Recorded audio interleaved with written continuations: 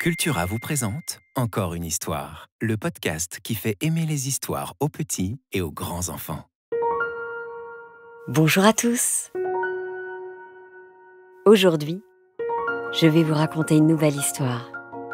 Ça s'appelle L'école de Léon, un livre signé Serge Bloch aux éditions Albin Michel Jeunesse.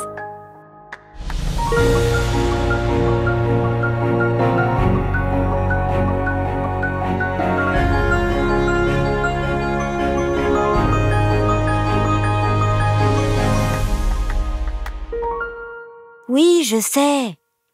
On ne dit pas l'école à Léon, mais l'école de Léon. C'est Karine qui me l'a dit. Et Karine, c'est ma maîtresse.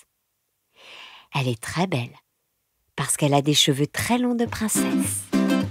J'ai une maîtresse maintenant, parce que je vais à l'école, à l'école maternelle. C'est en haut de la rue où il y a ma maison. C'est pratique, parce que le matin, on a juste à monter, et le soir, à descendre.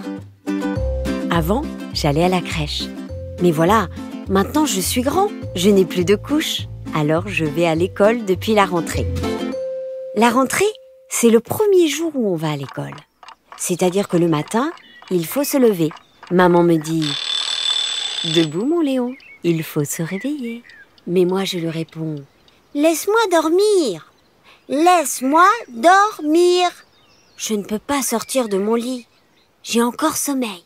Parce que, évidemment, hier soir, je me suis levée pour un petit biberon d'eau, un petit câlin avec maman, une petite cassette et un petit bisou de papa. Mais maman me dit Allez, Léon, lève-toi. Aujourd'hui, c'est la rentrée. Il ne faut pas être en retard. Je finis par me lever. Je m'habille. Enfin, maman m'aide un peu. Je prends un bon gros petit déjeuner et zou, on est parti. Sur le chemin, je suis un peu inquiet. Mais maman et papa me disent que je vais me faire plein de copains. Et puis, je serai avec mon grand frère. Allez, mon Léon, on y va maintenant. Et c'est là que tout a commencé.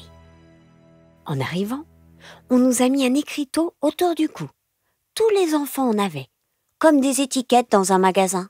Peut-être qu'on allait nous vendre. Mais papa m'a expliqué qu'il y avait mon nom dessus et aussi le nom de ma maîtresse. À l'intérieur, on a dit bonjour à Madame Rouget, la directrice. Bonjour Léon. Et on est allé dans ma classe. C'est la classe des petits de Karine. Et là, c'était l'horreur.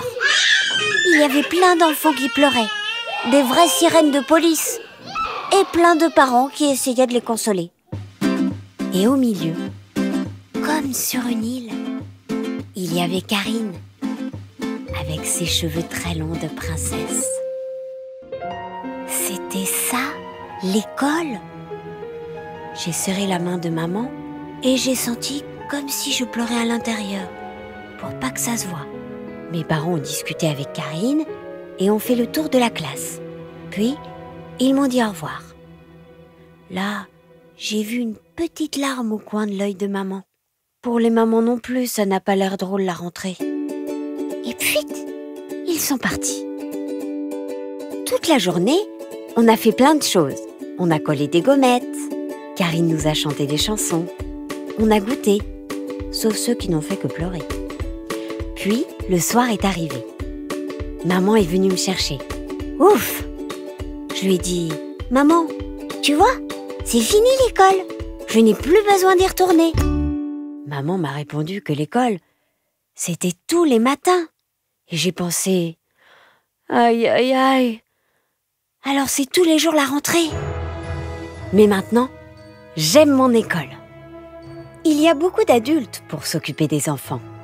Madame Rouget, la directrice, Coralie, la maîtresse musicienne des petits grands, Ronaldo, le maître bricolo, Anne, la grande maîtresse des grands, Karine, ma maîtresse, Marie-Lise, la maîtresse jardineuse, Yolande, la gardienne, Sylvie, qui aide les maîtresses, Rachida, la femme de la cantine, et Nathalie, qui aide Rachida. Et puis, j'ai beaucoup de copains. César, mon copain de bagarre, Madame Lucie Je sais tout, Margot, Félix, Louise, Madame Bobo, Monsieur Marius dans la lune, Marcel qui ne tient pas en place, Antonin le roi des bêtises, Zoé et sa tétine, Élodie qui est toujours amoureuse.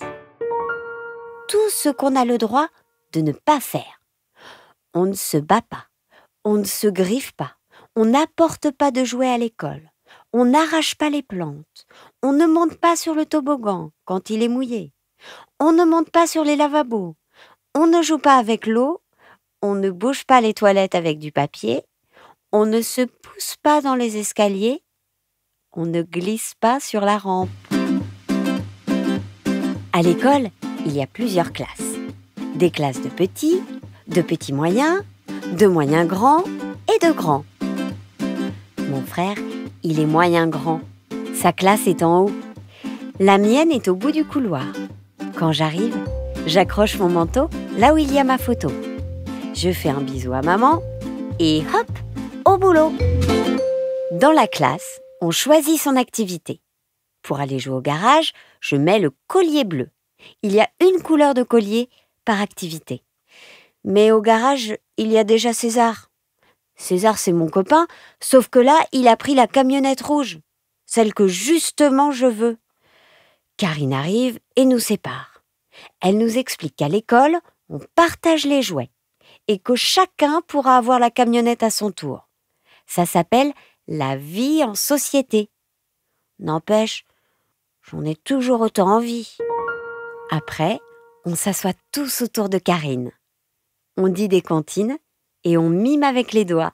Jamais on ne vit, jamais on ne verra la famille d'Ordi courir après les rats. Le papa tortue et la maman tortue et les enfants tortilleront toujours au pas. Ensuite, c'est l'heure de la gymnastique. On fait des parcours. Il faut être courageux parce que parfois, c'est très dangereux. On apprend l'équilibre. Puis, c'est la collation. Aujourd'hui, c'est moi qui fais la distribution.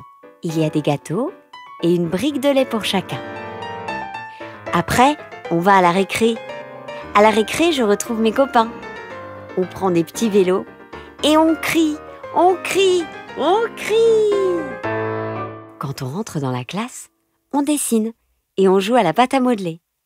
Puis on va faire pipi et se laver les mains avant d'aller déjeuner. La cantine, c'est sérieux. Je mange de tout. Parce que ici, manger, jouer, apprendre, c'est mon travail. Après, on fait la sieste dans le dortoir, avec le doudou qui reste à l'école, parce qu'on est fatigué d'avoir beaucoup travaillé. Puis, on se rhabille. C'est pas facile. Il ne faut pas se tromper de pied. Et Karine nous raconte des histoires. Un éléphant qui se balançait sur une toile, toile, toile, toile d'araignée. C'était un jeu tellement, tellement amusant que tout à coup, bah,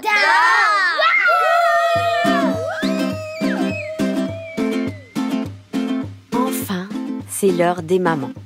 Ça veut dire que les mamans arrivent pour nous chercher. Mais parfois, ce sont les papas, les mamies ou Sabrina. En tout cas, l'école est finie. Alors je rentre à la maison. Dans mon école, j'ai des amis. Parfois je pleure, parfois je ris. Dans mon école, je grandis. Voilà, c'était L'école de Léon, un livre signé Serge Bloch aux éditions Albin Michel Jeunesse. Encore une histoire, un podcast réalisé par Alexandre Ferreira, raconté par Céline Kallmann, sur une idée de Benjamin Muller. N'hésitez pas à vous abonner sur notre chaîne de podcast, à nous noter ou demandez-le à vos parents. Ça nous encourage beaucoup pour la suite. Bientôt, une nouvelle histoire.